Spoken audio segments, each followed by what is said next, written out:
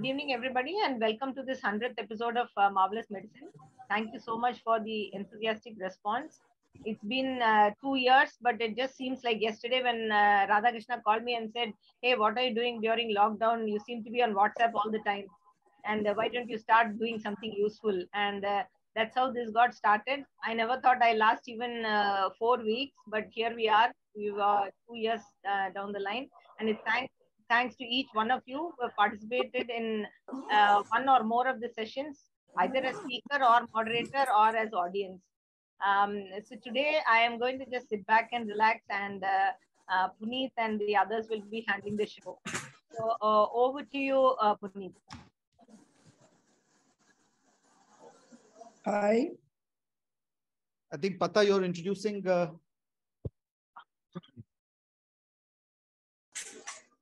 Radhakrishna, sorry, over to you. I'm so Hi. used to calling on you at the end. I mean, it's a privilege to introduce uh, Professor Nundy, the doyen of uh, uh, GI surgery in India, and uh, and he's one of those unique uh, uh, persons who have both an FRCP and MRCS. And I think he's one of uh, maybe less than half a dozen such individuals in the country. And he's been my teacher, mentor. He he has been a professor head of gastroenterology surgery in the All Indian Medical Sciences.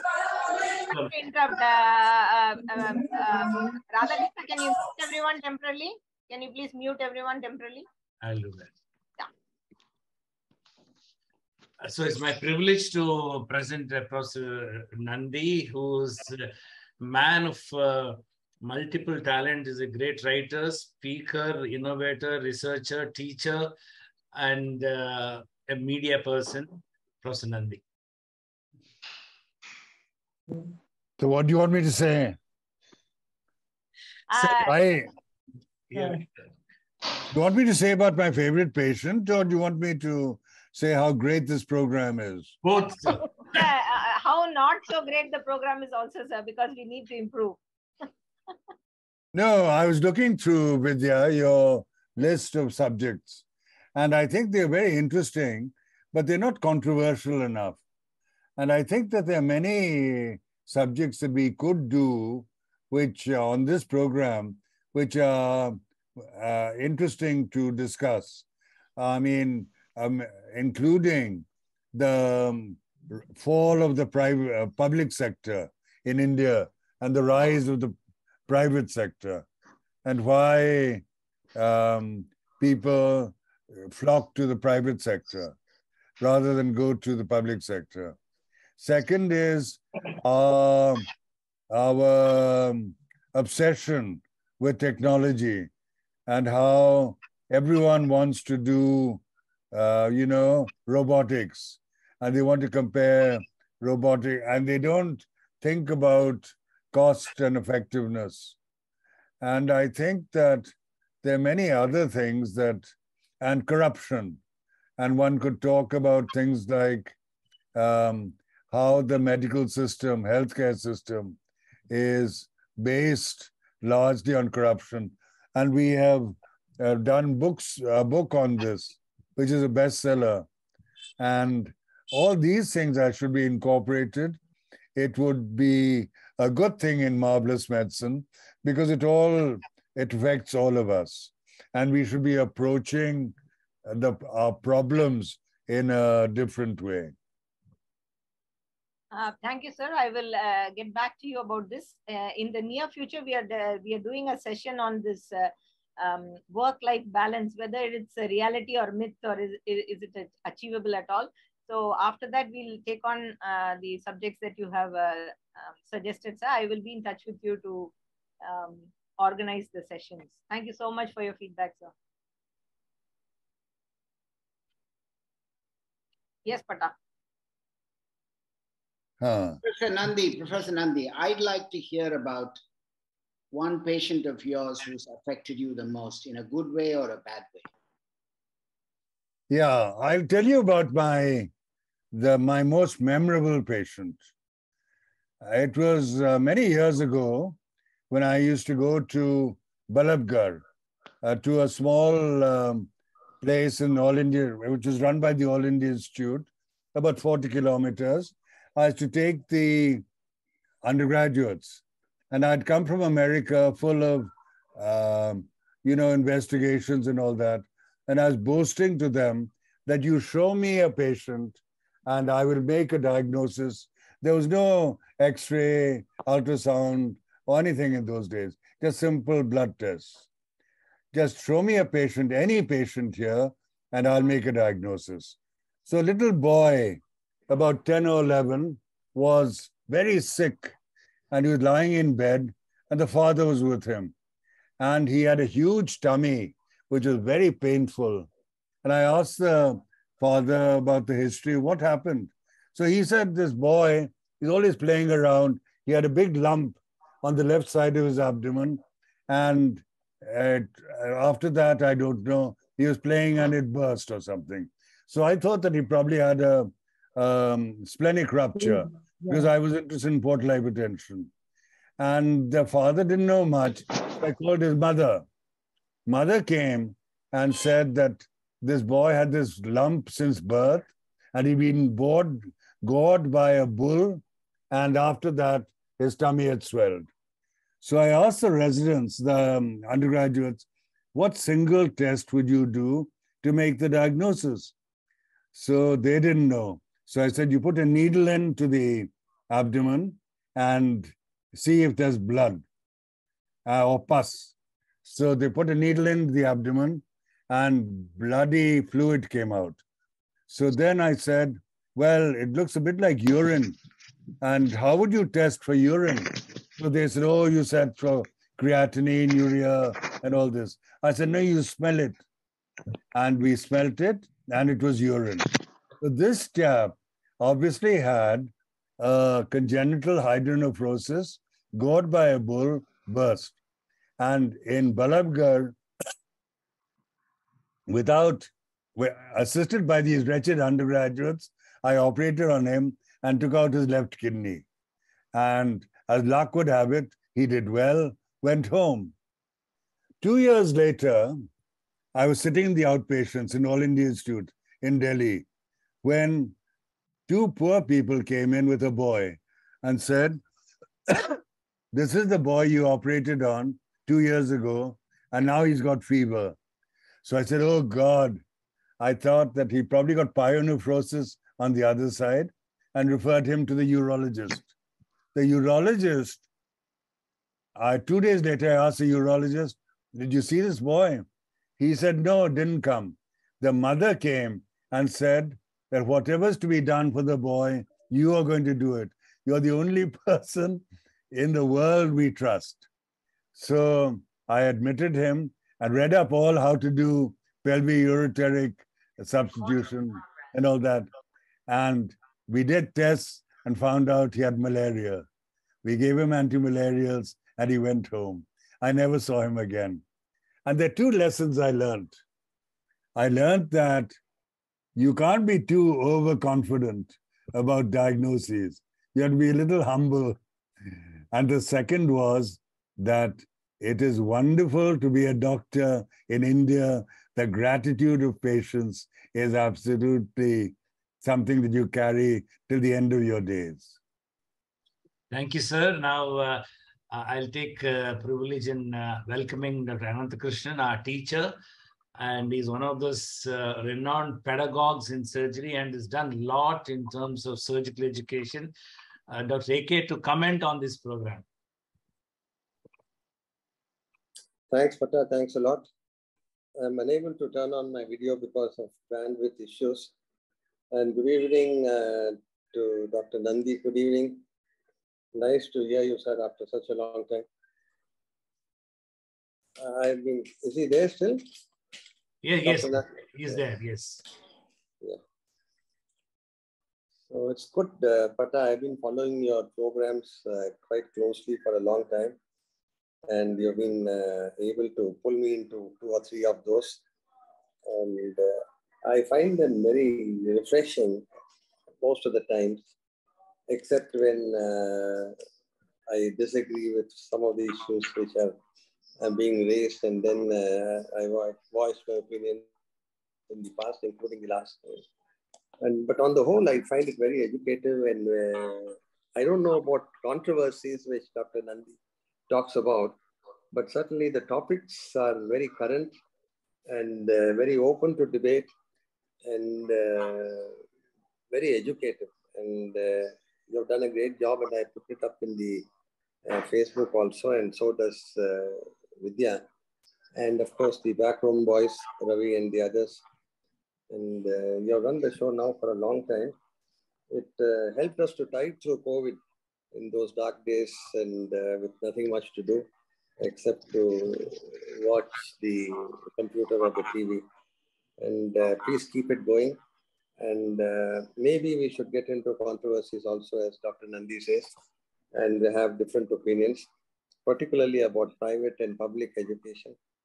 I've been in the public field for uh, nearly 35 years, and in the private field now after that another 15 years. So I've seen both sides of the coin, and I know uh, what is what and what happens. Maybe we should discuss it sometime. Thank you, sir. Over to Puneet.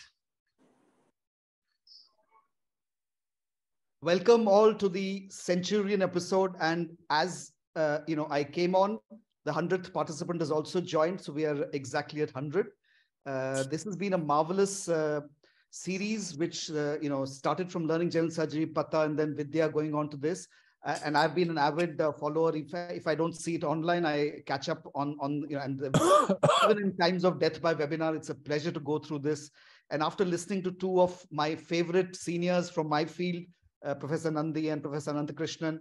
Uh, we move on to another, you know, the, the, we in this series of 10 short stories, uh, the first person we have is uh, uh, Professor Rela. Uh, Muhammad is chairman and director of the Rela Institute of Medical Center in Chennai. his basic medical and surgical training was from Stanley. then he went on to do the MS and FRCS from UK and was a professor of liver surgery and transplantation at King's College for many years uh, when we had a queen there. Uh, he's been a pioneer in pediatric liver transplantation, auxiliary transplantation, split liver transplant techniques. He's also entered the Guinness Book of Records for doing the uh, transplant in a uh, five-day-old baby and has, uh, you know, humongous, uh, more than 600 scientific publication.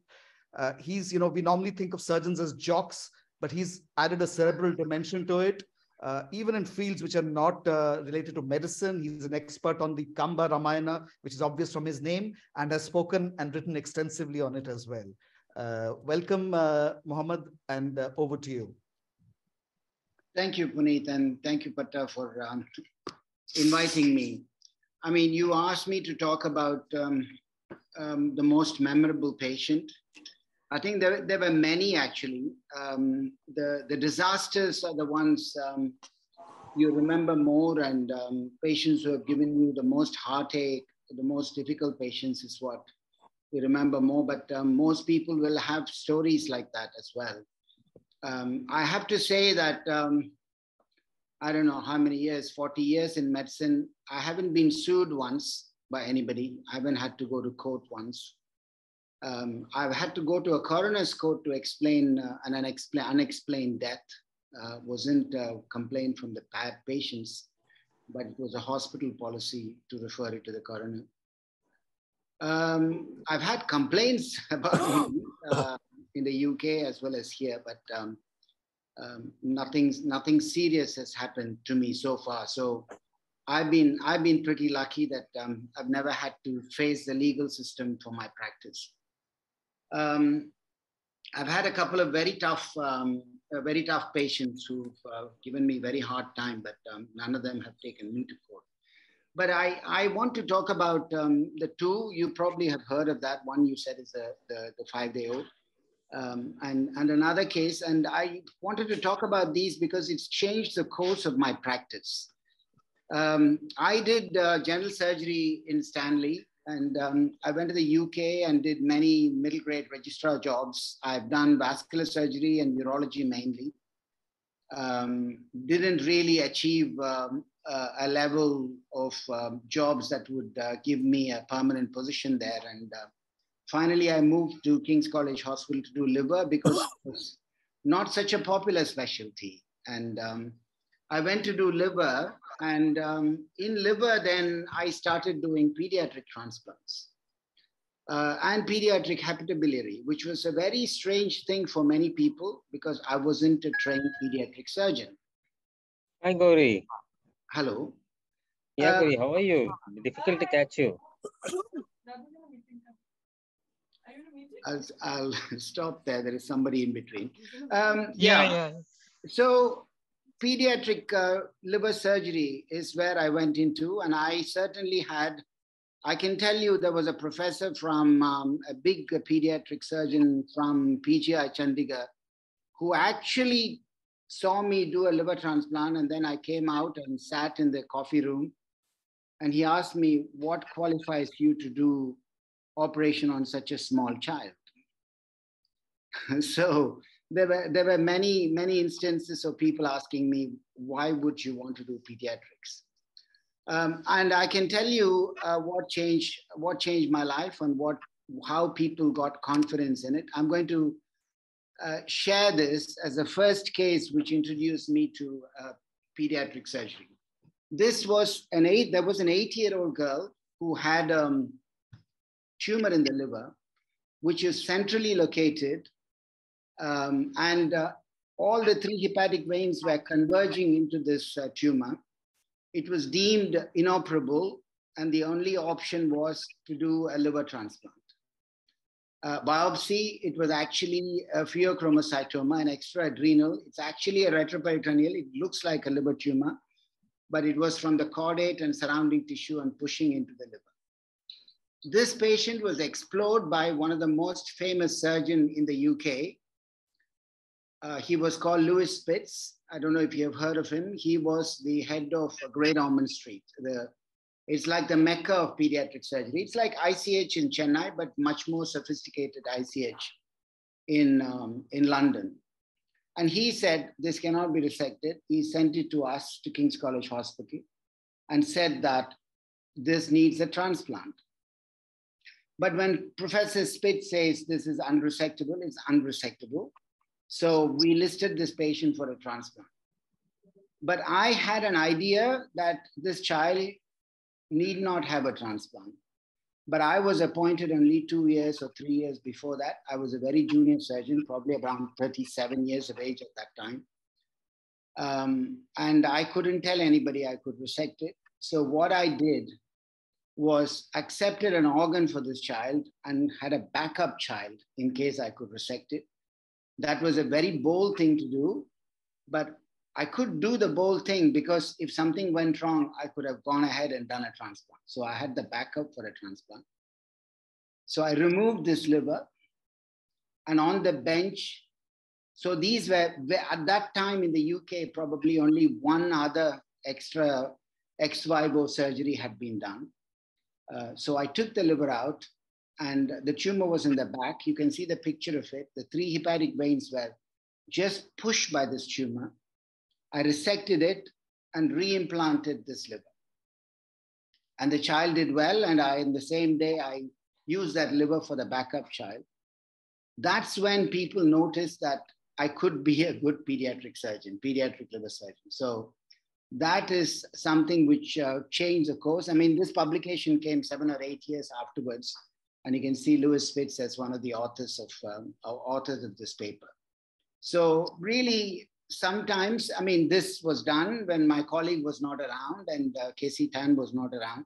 So opportunities sometimes comes um, when you don't have a senior support, when you have to prove yourself. If you had a senior support, you couldn't prove yourself because they would have helped you.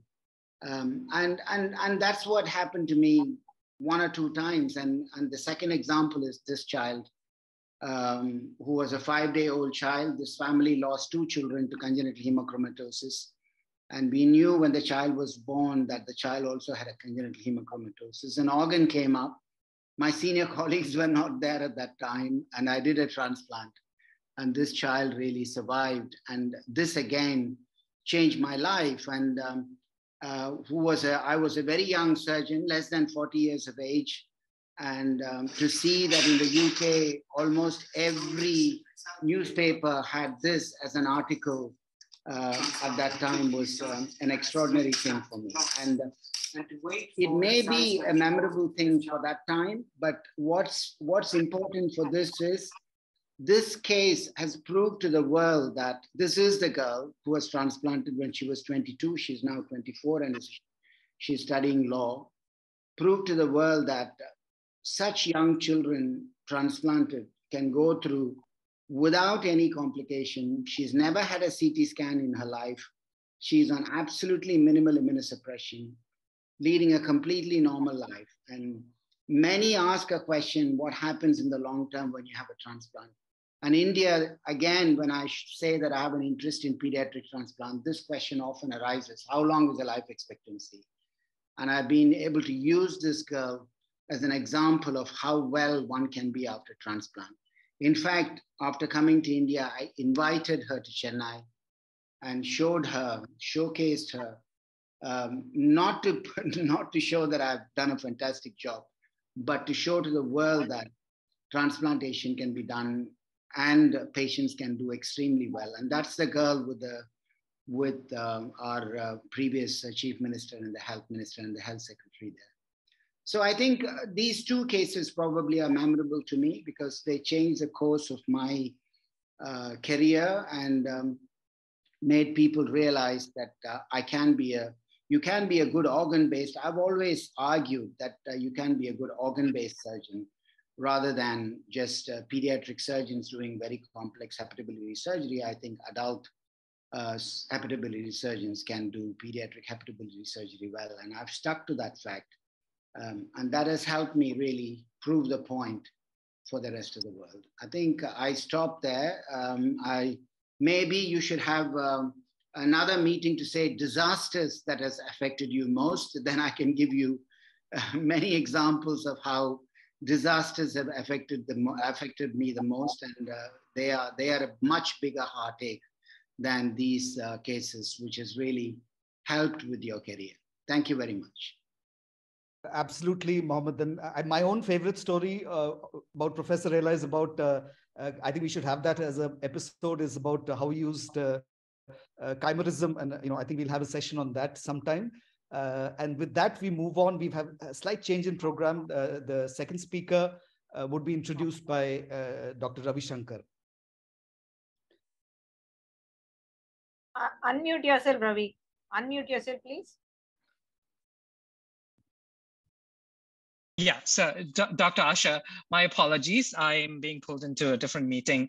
Um, so um, uh, apologies for going out of uh, sequence. Uh, but if I wanted to start with Dr. Asha, the first thing that comes to mind is this thing that goes, Pani illada mar margaria, can you have uh, a month of December without dew? The same way we cannot think of JIPMER without Dr. Asha. She's been um, faculty at JIPMER for her entire academic career and my entire um, association with JIPMER has uh, included uh, Dr. Asha in some way or the other.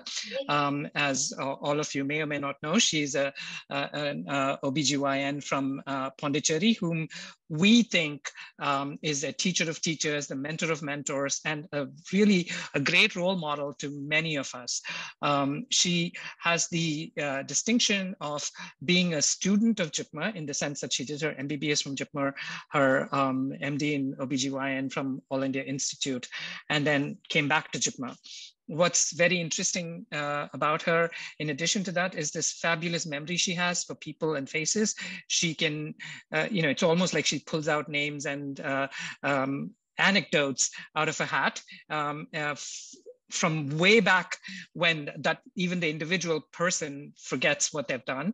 She's a very gifted surgeon, and Vidya tells me that she's one of the most uh, uh, truly ambidextrous surgeons that she, as an anesthetist, has ever met. So that must be something. She's extremely passionate about teaching. Has written books for both um, written and edited chapters, books uh, for undergraduate and postgraduate uh, uh, trainees, and is a great administrator most people who are good clinicians generally um, are not organized enough to become uh, good at administration, but she's an exception to that role, uh, to that rule.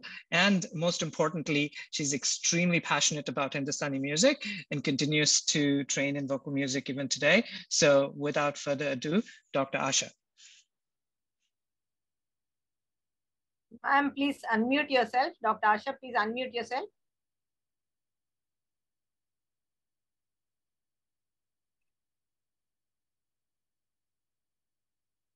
Uh, Dr. Asha, you need to unmute it. Yes, ma'am. Thank you. Yes, ma'am. Okay. Yes. Am I audible? Yes. Yes, yes. Okay, great, greetings to all of you. Thanks, Ravi Shankar, for all the good things he said about me. And I must thank Vidya for asking me to narrate the story of my most memorable, unforgettable patient. This was way back in 1973 74. I had just got back from AIIMS after my MD and joined as a senior resident. And uh, we had a JIPMER unit working in the government maternity hospital at that time. And uh, if you go back those 50 years, we used to have something like 20 to 30 deliveries a day and at least about five to six, sometimes 10 emergencies. And uh, what was one of the most tragic emergency that we used to see was rupture of the uterus. I'm sure many of you youngsters may not have seen it, but it's the honestly the most catastrophic outcome of labor because of mechanical factors. The uterus, the power keeps on working, the lower segment gets thin and the uterus ruptures. In such cases, the child is almost always dead. And sometimes we lose the mother also. If the mother is alive, then she's left with no uterus. And you can imagine what life would be for her. So it was one of these emergency days. Around 10 o'clock at night, I admitted this ruptured uterus, took her up for laparotomy. At head end, I had a senior resident, my colleague from JIPMER. Can never forget his name, Dr. Ravindran. So I opened up, achieved hemostasis after hysterectomy. Then he suddenly said, uh, you know, Asha, there's cardiac arrest. So I told him, you give external cardiac massage resuscitation, I'll wait. So I was holding on. Then he said, after a while, heartbeat is not coming back. He said, can you do an internal cardiac massage? I looked at him because I didn't know what it was really.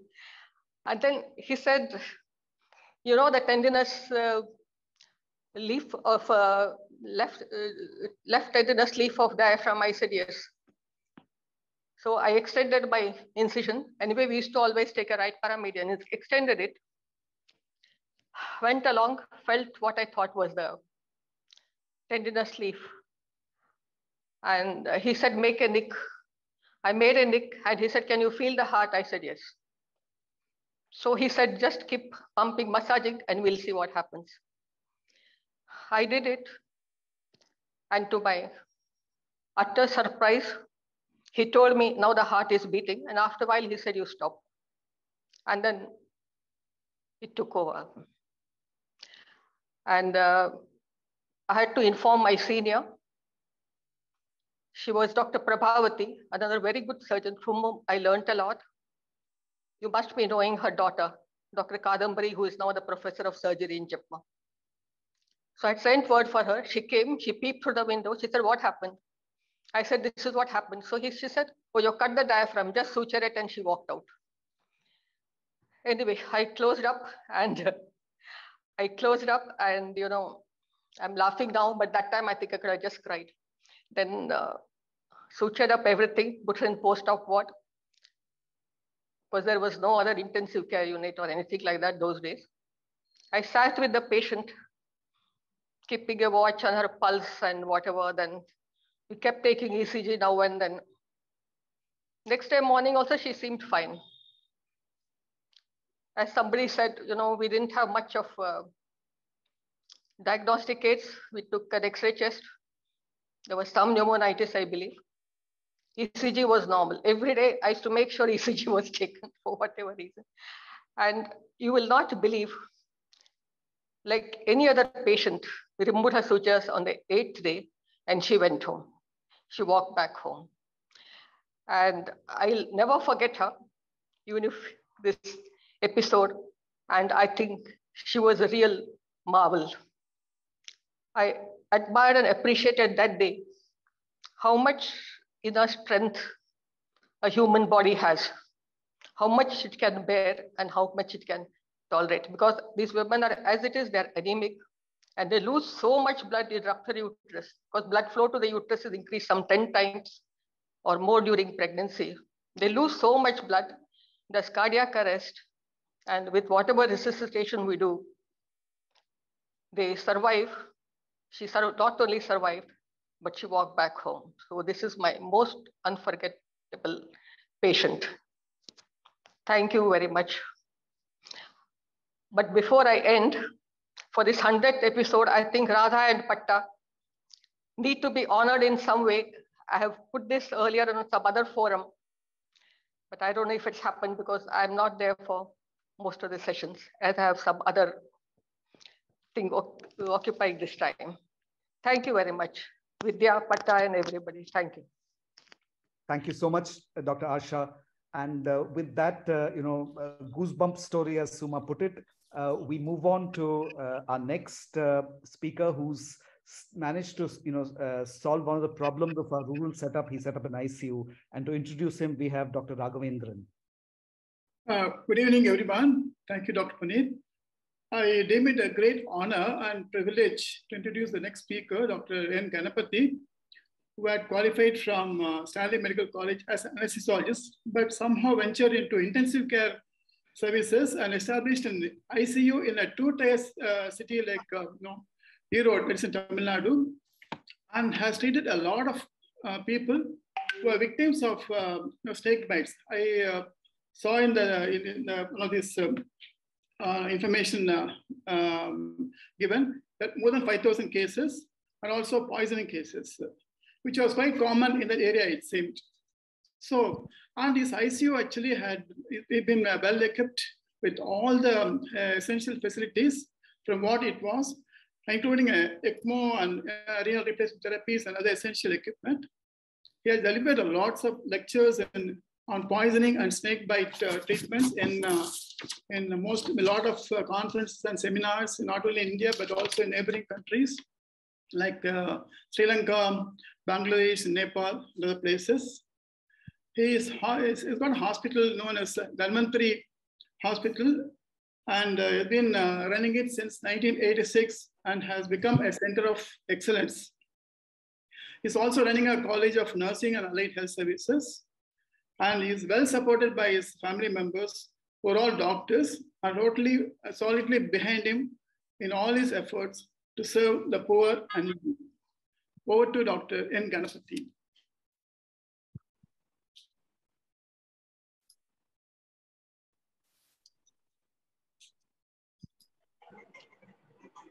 I'm Geeta Iyengar, a writer by profession. And I'm very closely associated with Nalini. She's my niece, actually. I'd never heard about disease called hemophilia. It's only. Yeah, is it audible? Yes, sir. Yeah. Uh, my unforgettable patient.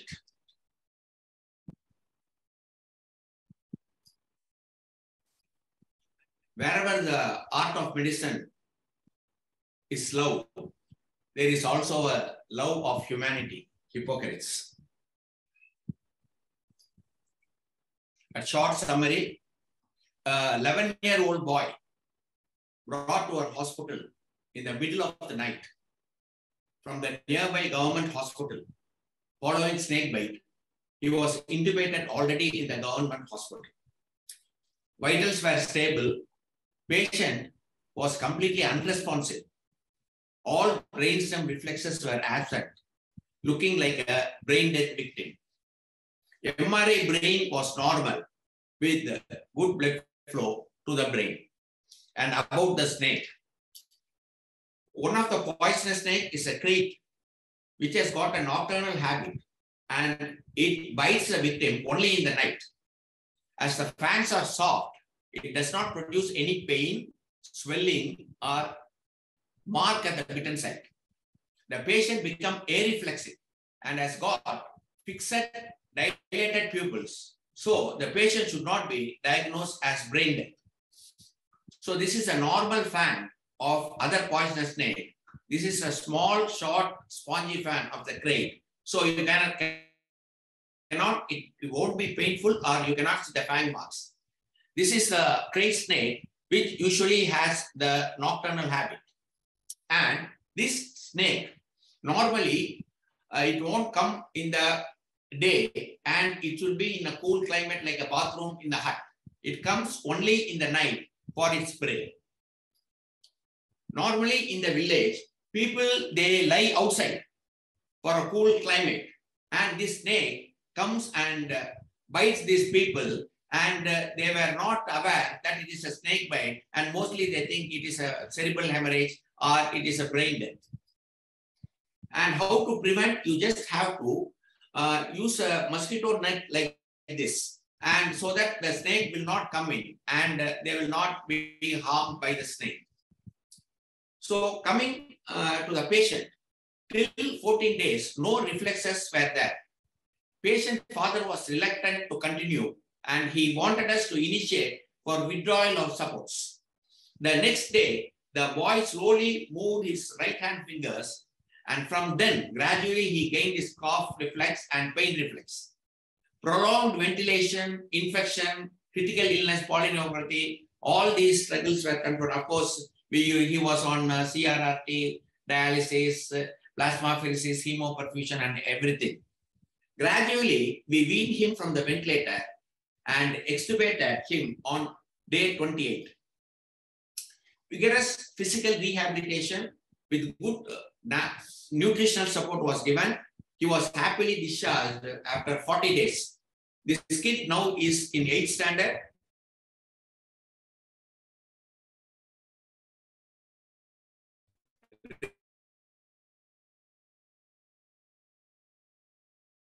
Regularly wishes all of us in the hospital.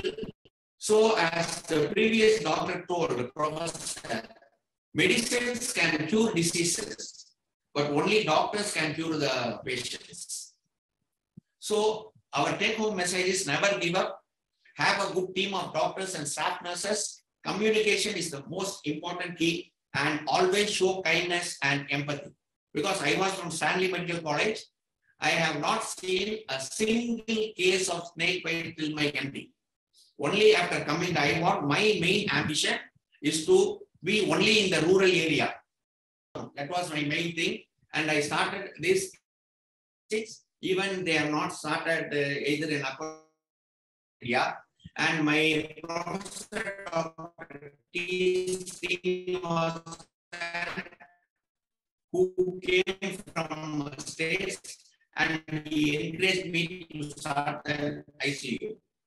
So we, we get so many cases like this because why I have shown the movie of the saint because people who are in uh, uh, city they would not have and this is one of my interesting cases. Thank you for giving me an opportunity uh, both for this marvelous medicine and uh, Dr. Vidya and all my doctor professors. Thank you. Thank you so much, sir. Personal goosebumps for me because uh, uh, I almost, while on a nocturnal birding trip in the Andamans, I almost stepped on an Andaman krait while we were looking for owls, and that would have made an owl of me as well. Uh, with that, we move on to our next speaker and to introduce uh, uh, this, uh, you know, perfect combination of gynecology and andrology is Dr. Tilaka. Thank you, sir.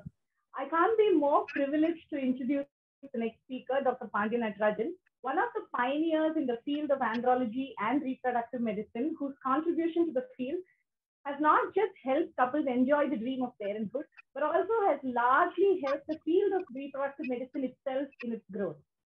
An extremely ethical physician, uh, an extremely ethical physician, a perfectionist by nature, a leader by example, but most importantly, I think everybody who knows him will agree that one of the most warmest, humblest, and the most amazing person that one can know.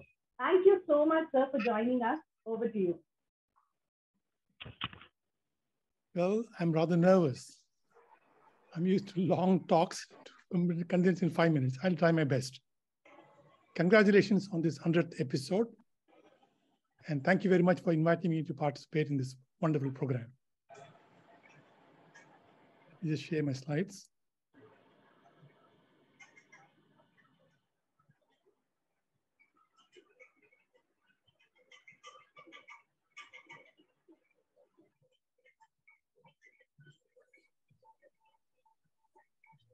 Uh, trying to see if they can make the full screen. At the bottom of the screen, there is a image like a cup, sir, uh, uh, Okay. on a screen that that will bottom of the screen towards. Yeah, yeah, yeah, I got it. Yes, Okay, can you all see me now? yes, sir. Okay. Well, when I had this invitation some time back, so many patients came to my mind. It is a good travel down the memory lane because I've been in the field for 50 years now. I've shortlisted four of them, and then I decided to talk about two probably ethical issues. Two patients contributed to first-time techniques being developed in the world. One is about another concept. One is on post-moral contraception. My gynecologist friends will know about it. And the other is on spermatozoa retrieval techniques and freezing, which opened up the gate for fatherhood for many men. Two patients pose great ethical challenges. Because of the mixed audience, I'll probably sh- share these two um, uh, challenges. As all of you are familiar, ethics is the final frontier. Technology can keep growing endlessly. We may reach a Mars, but ethical frontiers still keep troubling us all the time. And ethics is primarily a human invention. It's primarily to protect the weak and vulnerable from the strong. It keeps changing from time to time, place to place, from people to people. What was not ethical 100 years back is ethical now. You know the abortion story. Who decides what's ethical? We tend to put the blame on the society, the world, the professional body. No, you and me, and all of us, one way or other. Either we do it ourselves, or we are part of a society which does it, or the government. So ultimately, we have to take responsibility, and if something is not acceptable, we have to represent. Ethics is very simple, as all of you know, but not easy to practice. And we are going through a revolution in reproduction. Sex and reproduction has been delinked. It is possible to reproduce without sex and have sex without reproduction. In my own chosen field of ethical reproduction, reading with an ethical minefield.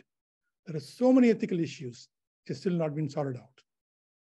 And we're all familiar with the heterosexual two-party reproduction. We become uncomfortable and unfamiliar with single party reproduction, third party, fourth party, fifth party, and now we have gone up to six party reproduction. And remember, infertility is a crisis in the lives of many, many people. You may be wondering, there are healthy people, they're apparently healthy people, but crying every day of their life. And the problem is in the man, it is worse because man's ego and pride is hurt. Unfortunately, the woman bears a cross even when he is at fault. This story is about a 25 year old man who came to me in 1988. I was 35 years. There were no guidelines anywhere in the world. HFEA, which is the first body to start putting guidelines, as Human Fertilization Embryology Authority, was not there. No guidelines in ICMR, and his wife was 22 years. They've been married for two years.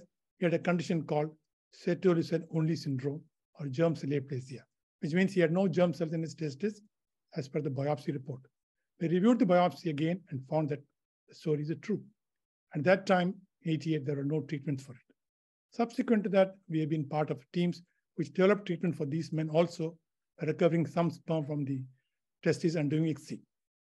We counsel them about the option. We always tell our patients what are the choices they have.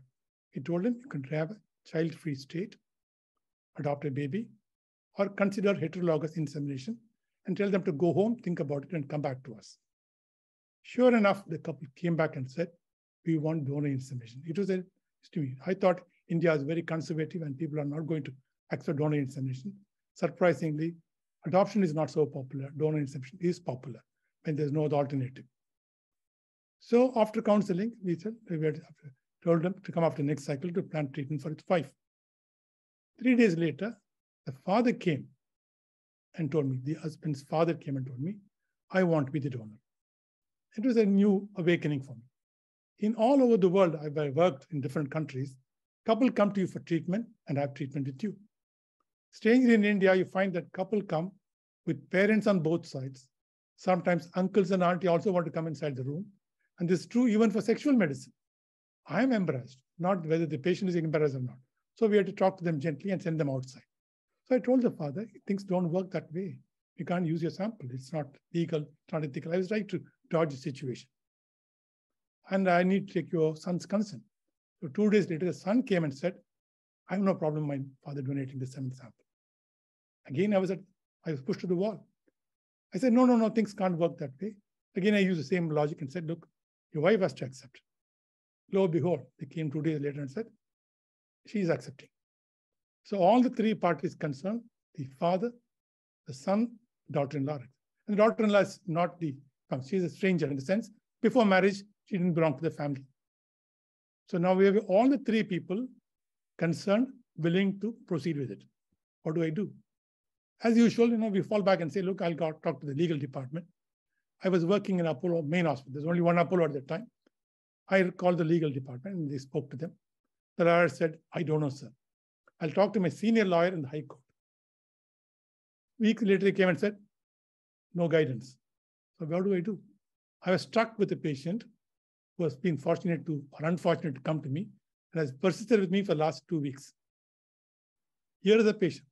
Then the father got so frustrated, all of them got frustrated because I was not able to make any decision. He asked a very simple question. You're willing to organize semen donation for my son, unknown source. I said, no, not unknown. They're all altruistic voluntary donors. He said, still, they're unknown to us. Here I am willing, I'm healthy, I have other children who are healthy. My son is willing, my daughter-in-law is willing. What is your problem? What is this ethics and rules? That really woke me up. Since then, I've been in many ethical committees as chairperson of the ethical committee or member. I always feel this famous Kamal Haasan starrer movie நாலு பேருக்கு நல்லது நடக்குன்றா யாரும் கெடுக்கணும்னா எதுவுமே தப்பில்லை and to quote Thirukkural பொய்மையும் வாய்மையிடத்த பொறை தீர்ந்த நுண்மை பயக்கு which means if something is going to good to others it's not going to harm anybody i think everything is fine isn't it so am i wrong in dodging doing things for it just a quick 30 seconds about this patient a patient with chronic liver failure with infertility ivf treatment she was waitlist for liver transplant, but she was not an extremist. She was sort of moving around. I put it to the ethical committee. By then, this is 2012. Ethical committee, this is in Chettinad. Ethical committee said, please go ahead. Your center of excellence should take such challenging cases. And she said, Settalam paravail. And IVF is a simple procedure, technically, surgically. But there are a lot of preparations. She has to go on hormones. And that was before surrogacy became so rampant and she was not contemplating surrogacy at all. So I not only going through IVF, and she also had to carry the baby. So everybody said, go ahead. I declined. So I leave this to you again to tell me, am I wrong in declining? Because I told her, look, I don't want you to die in my hand. It is not right to help you have a baby. You may not have a baby. IVF may not be successful. And even if it's successful, can't carry the pregnancy. So thank you very much again for tolerating my quick five minutes presentation. Thank you. Thank you so much, sir, uh, not only for the stories, but also for seeding us with a lot of thoughts, uh, some of which may be inseminate ideas uh, in for future episodes of Marvelous Medicine. Thank you. and now we have our, you know, our founder, uh, Patta Radhakrishnan, to introduce an eminent neurosurgeon.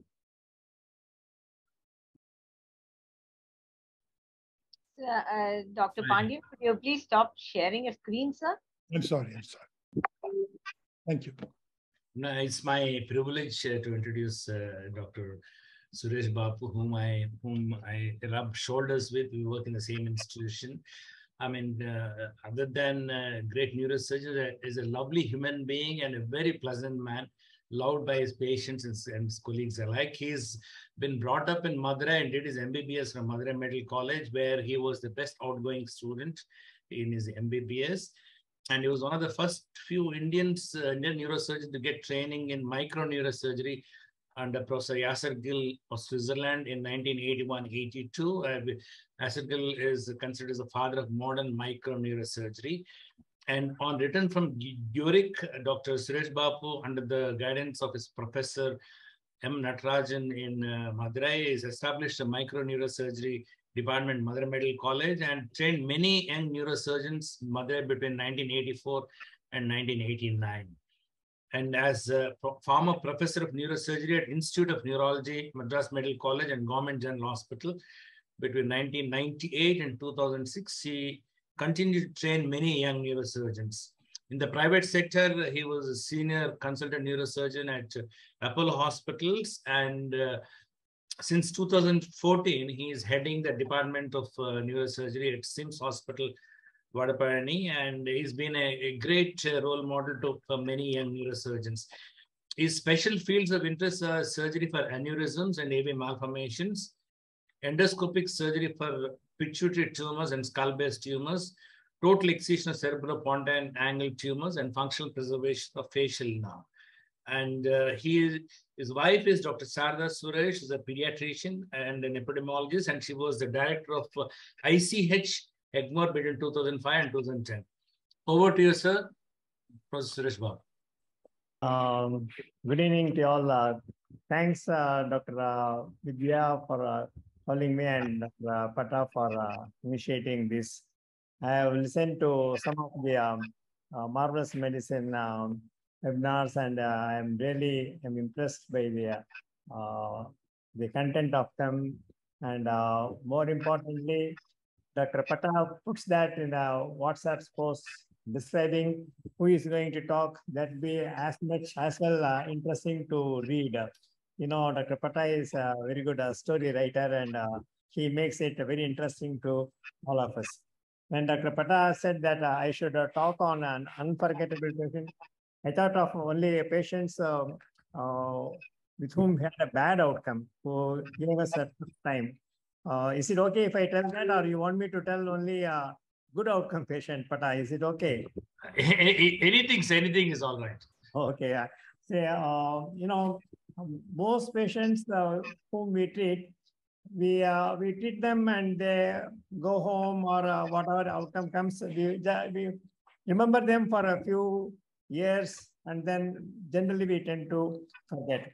Only when there is an uh, uh, a lesson we get from the patient's treatment or if there's an emotional attachment, only then we, uh, we try to remember them for many years and it becomes an unforgettable uh, patient. That way, I mean, uh, we have had patients, uh, uh, no, they are, um, because I was one of the few neurosurgeons to get training in microneurosurgery, my uh, senior professors, some of them, they used to open up the case and then they uh, they find it difficult to remove the tumor. Then they call me and I go and uh, remove the tumor. That has happened quite a good number of times. But now I remember the patient, the surgery, but I may not even have seen the patient. I may not even know the patient. Like that, no, a lot of things have happened. But uh, I can tell one patient, um, a, a young patient came with a, a MRI scan showing a, a, bad tumor like a glioblastoma. You know, glioblastoma is one of the worst tumors one can get. You know, um, Joe Biden's son, Bo Biden, died of a glioblastoma, and uh, usual survival rate for glioblastoma patient is only about uh, 12 to 15 months time. Uh, the uh, young patient, she came to me in 2008. I operated on her we didn't even do total excision. We did only subtotal excision for that patient. And then uh, we gave radiotherapy. Post-operatively, the, uh, the husband uh, came to me and asked me how she is. I said, she's okay now. She'll be okay only for a few months. and uh, probably usually uh, they get recurrence in uh, in one and a half years or uh, two years, and uh, at that time she'll come back. She'll come back with a recurrence. Then we may not do anything. But of course, uh, he took it, and then uh, we gave radiotherapy, chemotherapy that goes on for nearly six to eight months time. The patient uh, was okay. Then after uh, four years, the patient came to me. I was very glad patient uh, was still alive. And uh, at that time, she we had a scan repeated that showed uh, a small tumor, but uh, that was not a glioblastoma, that was a radiation-induced meningioma. So we treated that patient with a CyberKnife therapy, and the patient uh, went on. The patient keeps coming and seeing me once in one or two years. She's still alive. She is alive 14 years after the surgery, and uh, that is something great. So it, uh, I, I thought the patient will not survive even for uh, two years, but the patient is surviving. And when the patient comes to me and uh, and she looks at me as if uh, I have given life to her, I know very well it is not me. It is uh, something above us, uh, which is which has uh, saved her. Some immune mechanism, some uh, natural mechanism is working, and uh, she is still alive. So I learned a big lesson from that from that patient that uh, whenever we tell a prognosis to the patient, never tell them that uh, the patient is live only for one year or two years. We just tell them the statistics. We tell them that uh, usually the 99% of the patients will die in 12 to 15 months time. Only 1% of the patients will live for longer years. In fact, that is the statistics. As per statistics, 1% of the patients, they live for uh, more than 10 years. Or, I mean, long life, long survival is possible 1% of patients. So that was the one patient whom uh, I thought I should uh, share that. Uh, there, there are so many patients that they don't uh, pay credit to what we do. But this patient, I don't think I am responsible for her long survival, but still she gives the credit to me. So that is something uh, I, I cannot forget that. The other patient, uh, which they gave a tough time for me, it was a pituitary patient whom I operated. The uh, patient uh, came from south with, uh, with visual disturbances. The surgery went on well. At the end of the surgery, there was some CSF leak because there was arachnoid was breached and we packed it and she looked all right. Then um, we kept the patient in the post-op ward for, uh, for about uh, four hours. We shifted the patient to the regular ward then next day morning, I saw the patient. She was a bit confused, so we asked for sodium. Then uh, I went to the operation theater, and then uh, evening three o'clock. Then again I visited her. She was more drowsy, so she had some fevers. So we suspected some meningitis. So immediately we did a lumbar puncture, and uh, then we diagnosed she's, she has developed meningitis within 48 hours of surgery, and the patient uh, became progressively, she became bad. So she had to be intubated, tracheostomy was done. She was in ICU for nearly three weeks. Then uh, uh, slowly she regained, but still she was she was uh, not fully recovered. And because of the financial things, they wanted to go back to the native place and they continued treatment there. And I was inquiring about the patient. There was no reply. Suddenly, I got a letter from a lawyer that uh, this patient uh, has been treated and has been made, uh, Uh, she is completely, uh, she is bedridden, bedridden state and all, they sent a lawyer notice. So I was really shocked because, uh, I mean, first time I am receiving like this and this is something I have not thought of that. Then I had to go back to the records and uh, found that we had maintained the documentation was perfectly good. And uh, especially I should thank the nurses in the hospital who have written all the details. Whenever I, we visited the hospital, visited the patient, they had made notes. They, uh, they had written all the details. Even if there's no doctor's notes, the nurse's notes was very useful in giving the reply to the uh, lawyer's notice. And of course, uh, uh, we are able to tackle it uh, smoothly, and there was I was there was no need for me to go to the uh, uh, to the court because the advocates of the hospital they take care of these things. But it was a real. Uh, I had a tough time at that time. At those few months, it was really tough for me. So I thought this is one of the unforgettable patient. Uh, uh, I thought I should tell that. Thank you, Dr. Patta, for giving me this opportunity. Thank you so much, sir, for that those lovely stories and a lot of messages in them. Uh, and uh, you know, when uh, Patta and uh, Vidya were actually envisaging this this episode, Suma was one of the first to send uh, a poem, and I thought it's it's much more important that she, I hope she says that in her introduction of this uh, uh, teacher of who's delivered many pediatricians actually into this world. So my former colleague, ped rheumatologist Suma Balan, to introduce Dr. Nalini. Thank you, Puneet. Thank you, Vidya and Patta. Uh, Dr. Nalini was my teacher. She was a professor of pediatrics in JIPMER, later on in PIMS. the, the very interesting thing about Dr. Nalini is that more than just pediatric care, she also went into advocacy and she is responsible for starting a hemophilia society in Pondicherry and through her actions, she has provided a lot of hope and support to many uh, suffering patients and families with hemophilia. I wrote a short poem for her uh, about a year back, and I thought that would give people some idea of uh, the kind of person that she is.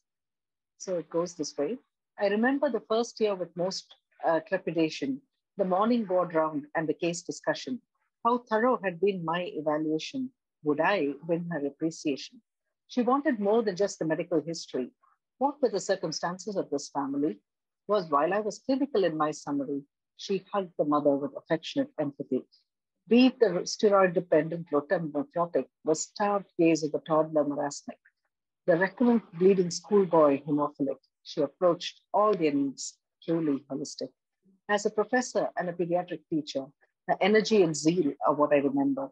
Effusive in praise, though scathing in temper, her compassion rubs off on every paid student from JIPMER. A long and evolved career with no sign of retirement, so many lives touched and so much fulfillment. While we anticipate even more achievement, let me thank you for everything, for student. Dr. Nalini, please come on board and talk to us about your most unforgettable patient. Ma'am, you'll need to unmute yourself. Dr. Nalini, you're muted. Uh, Dr. Nalini, you'll have to unmute yourself. Your mic is muted.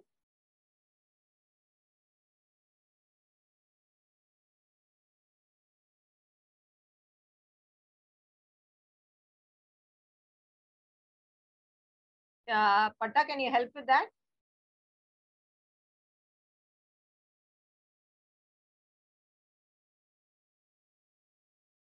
Uh, Dr. Nalini, you're still muted. Uh, your mic is off.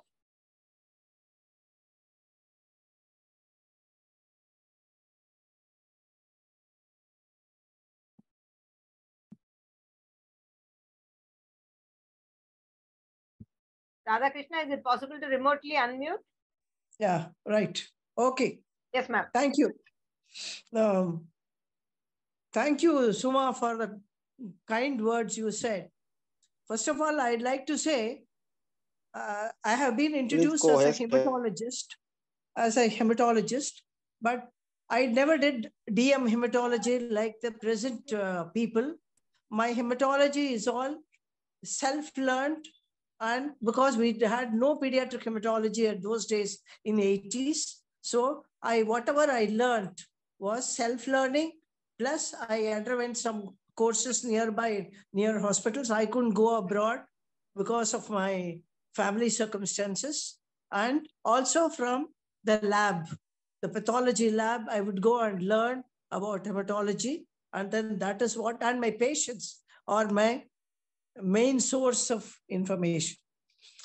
Uh, I, it's almost three decades since I started doing hemophilia.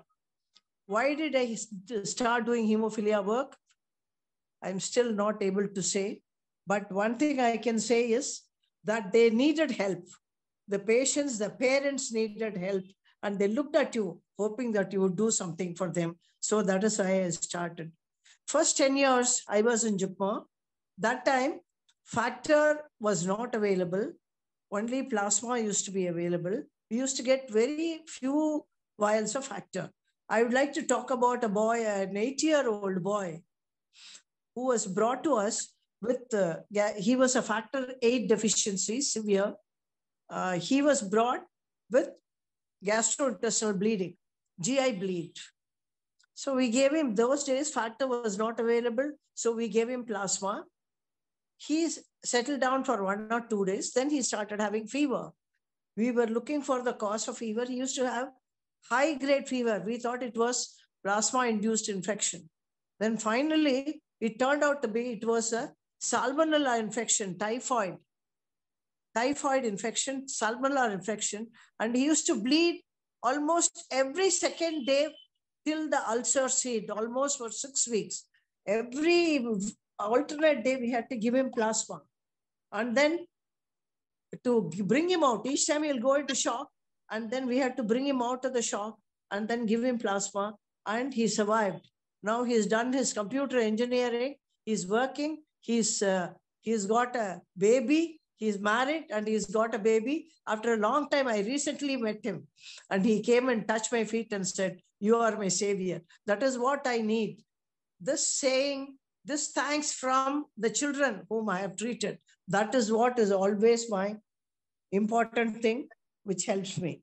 The second patient was during the second decade. That is, I had shifted out of shifted out of uh, JIPMER into a private institution. There, a one-year-old child was brought with intracranial bleed. Then he was operated free there. He, the father didn't have money to buy factor. So we supported him with factor. And we also did fundraising for him by advertising in the newspapers. These days, social media has come in. Those days, we had no social media. So we got some thousand rupees for him to, to look after his needs. And that child, I came to know, had head banging. He used to bang his head on the floor, and that is how he had intracranial bleed. He was operated. Now that boy is in Coimbatore and he has studied and then he is do doing his own business. I am very happy about that. Now about a third patient who's been very recent in the last uh, eight, 10 years. He is one of my old patients. He used to come with GI bleed, recurrent GI bleed. And then he had once acute pain abdomen. He was admitted as appendicitis. He was operated in one of the institutions as an emergency where he was being treated. It is a good institution. I wouldn't mention any institutions because some three, four institutions were involved in this. They had thought of acute appendicitis under adequate factor. We are getting enough factor these days, thanks to the World Federation of Hemophilia. And he was operated. Then they found they did not find an uh, inflamed appendix, but there was just small hematoma. So, so the surgeon just closed him up. And then we followed him with factor, and then he was discharged. After going home, every week he will bleed. He'll come to the casualty of the treating hospital with two grams hemoglobin. And he would have to be given at least two blood transfusions to bring up his hemoglobin along with factor. Like that, he went on for months together uh, GI endoscopy, lower GI endoscopy was done, upper GI endoscopy was done. They could not find the site of bleed. Then I referred him to another referred, referral institution where they treat hemophilia patients. And there also they could not find, MRI did not find a place, everything. But there also he continued bleeding. Then finally the surgeon, the gastroenterology surgeon, we thought we will lose him I used to tell, I think this boy is going to die. But at, at that institution, the surgeon gave him 5% chances. He said, if you live, I'm going to open you. If you live, you may live. Otherwise, you may die. It's only 5%. The boy and his parents took a risk. Imagine they're also very poor. They spent lakhs. And he was opened and they did, they resected the ileocecal region and removed that region. And finally, it was sent for biopsy and found it was tuberculosis. Tuberculosis of the ileocecal tuberculosis, which was causing this. And after that, he came, he was so moribund. He came back home. He was in a real moribund state, but now he has recovered and then he has started going back to work. This was a boy who I thought will never survive, but has survived. God is always great, and I am not, I am not worried about anything. I am worried about those children who have come up, who have made their lives. Thank you very much for giving me an opportunity. Thank you so much, ma'am, for those stories. Uh, and now the next, we have two pillars of uh, Learning General Surgery, the parent organization here. Uh, both my favorites. Ilango, a passionate uh, liver transplant surgeon, is going to introduce Professor G.D. Sharma. Um, thank you, Puneet sir. Um, thank you, Vidya ma'am, for the opportunity, and Patta sir for this for this platform. Um, I'm, I, it's a pleasure to introduce uh, uh, Dr. Girijadat Sharma. Um, he's one of the father figures in the learning surgery, general surgery group, and serves as a mentor right from the youngest to the oldest. So he is um, he is an alumnus of CMC Ludhiana under Professor Eggleston and uh, was trained in the American uh, residency system, uh, which was prevalent in uh, which was used in CMC Ludhiana. And he did his MS in DNB uh, and finished in 1983. He further worked as a lecturer in urology and thoracic surgery. Um, he's probably one of the uh, few general surgeons who can operate on every part from head to toe. Um, Dr. Sharma has extensive experience in running his own hospital and has also worked in corporate hospitals in New Delhi, primarily with the aim of uh, teaching national board uh, surgical uh, residents. And his specialty is in helping those candidates who have failed their examination um, and getting them uh, trained as a good surgical student. And um, he also specializes in teaching non-surgical skills to the younger students as well as to seniors. And it's always a pleasure to talk to him about problems. And um, um, you should, I mean, a lot of people who are uh, following learning general surgery will see that, see his district surgeon uh, tips, and it's always a, a thriller each time. And there's a lot of practical tips in his teaching. And um, um, it's uh, in, in, Tamil, they used to say, na Suryanike Tarchan So it's like uh, he's one of the stars of our program, uh, Learning General Surgery platform. And we're always glad to be uh, with him in any place, much more so in Marvelous Medicine. Over to you, sir.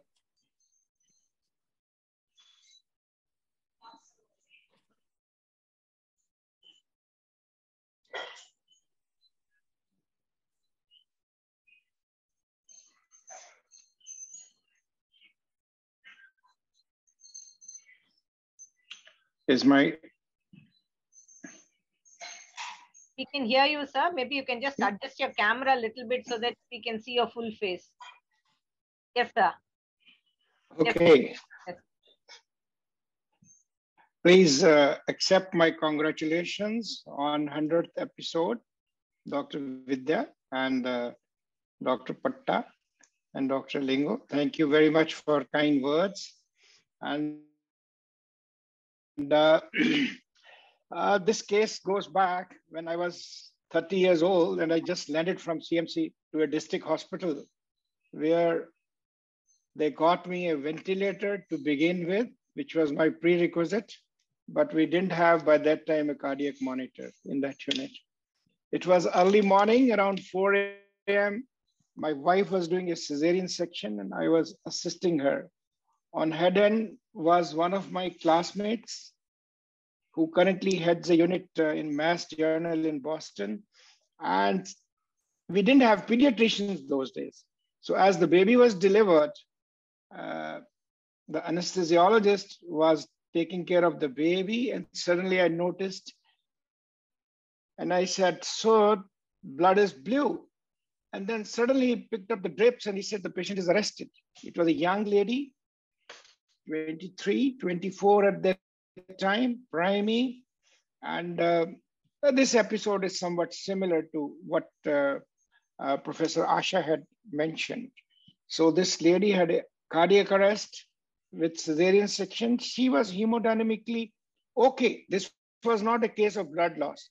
Probably retrospectively, it was bradycardia which went unnoticed and the lady had arrest.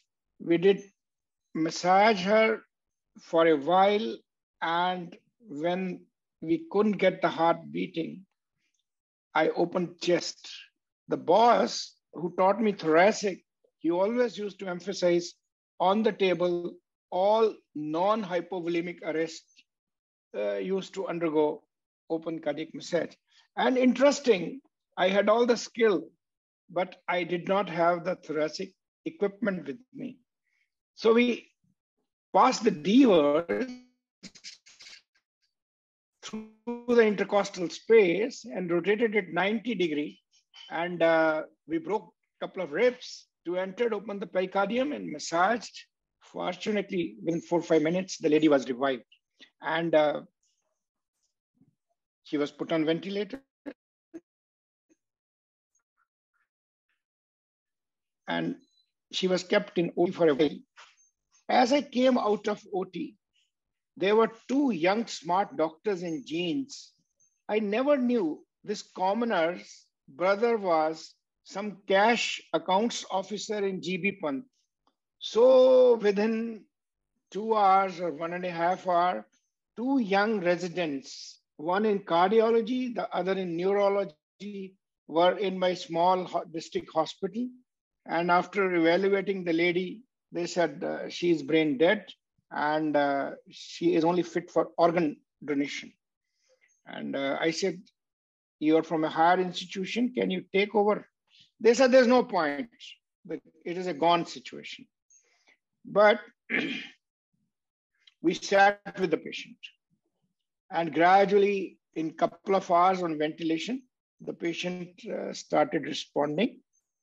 She was weaned off the ventilator within I think uh, two, three days. She got well. The cesarean wound got well, uneventful. She had some level of pneumonitis, which got well in next couple of days. And uh, I was very new in a district headquarter. And you see, is a lot of luck and chance for a young doctor who lands up in a district the initial cases go wrong, one's career may be cooked. But here the message went, look, you know, nobody looked at the negativity that we did not uh, monitor or when did the bradycardia happen, nobody came to know. But everybody said if there is a complication, here's the guy who can bail it out. And uh, that lady, after five years, again came to us for a repeat section 20 years later, we did a hysterectomy on her. And uh, lately, I think around four years ago, we drained a cold abscess in her neck. So the point to remember and learn is, well, in today's scenario, open cardiac massage has very limited rule. But when required, if you have the skill and the drill, it is feasible in smaller setups and the faith builds. I, I, I cannot forget the gratitude and the thankfulness of Lord that the lady who had cardiac arrest on the same table came three more times uh, to get treated. So that, that that's one of the worst case scenario I have uh, had in my life. Well, being a trauma surgeon, I, I have innumerable stories to carry on. But I think for today, keeping the time uh, punctual, uh, that's enough from my side. Thank you very much for the opportunity. Thank you so much, sir, for that wonderful story. Uh, I think uh, that's what medicine tells us how it is marvelous for each one of us. Uh, thank you so much. And next, we have uh, to introduce us to the uh, teacher of teachers in anesthesia uh, from Chennai. We have uh, Dr. Vasanti. Thank you so much. And uh, I think it's just wonderful that we're learning so much from all of you. So I must thank each and every one of you. I feel privileged and blessed to introduce my beloved teacher, Professor V. Nagasamy. He is a teacher of teachers in the field of anesthesia in Chennai, not just Chennai, all over India. And in fact, we are going um, international too. Um, Dr. Nagasamy did his MBBS from uh, Stanley Medical College, uh, from uh, Madurai Medical College, and then his post-graduation from Stanley Medical College. He has had a meaningful and uh, very successful career in uh, both government and private sector, and he's currently the lead in the DNB program in Railways Hospital. Dr. Nagasamy's teaching is not restricted to just classroom conversation or uh, formal classroom training. In fact, his uh, talks in conferences, in meetings, and even day-to-day conversations, and I would say even his WhatsApp messages actually tells us a lot and uh, it helps us to learn and grow. This, I feel, directly and indirectly helps, benefits the patients and the society at large because without any hesitation, he imparts his skill, his knowledge, and every aspect of safe anesthesia practice to each and each one of us.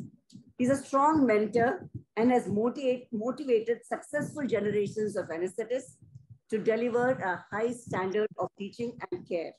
And I, I must say, I am a humble beneficiary of this great Bhishmacharya in anesthesia. Thank you so much, sir. We'd love to listen to you. Um, am I audible? Yes, sir. Okay, thank you. Uh, can I share my screen, please? Yes, sir. Um,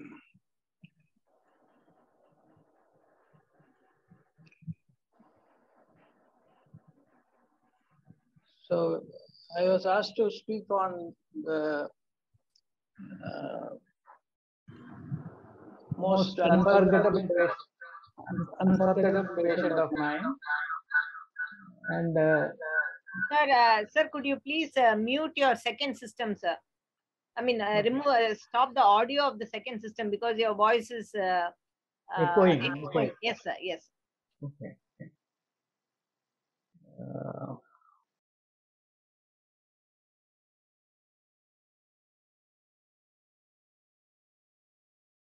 No, uh, your, both your mics are off, sir.